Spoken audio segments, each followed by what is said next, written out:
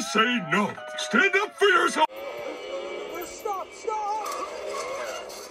Parker, you're late, man. Always late, huh? I'm sorry, Mr. Aziz. There was a disturbance. Disturbance, another disturbance. Oh, Always a disturbance with you. Come on. 21 minutes ago, in comes order. Hamilton, Burton, and Smith.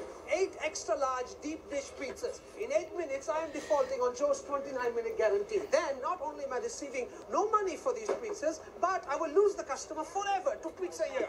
Look, you are my only hope, all right? You have to make it in time. Peter, you're a nice guy, but you're just not dependable.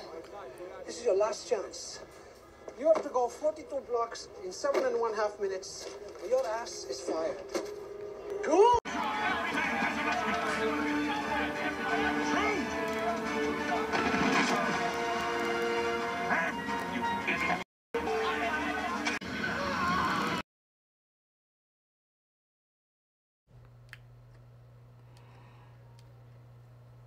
You're late.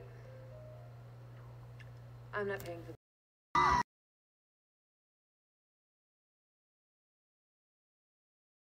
29 minute guarantee is a promise, man. I know to you, Parker, a promise means nothing. But to me, it's serious.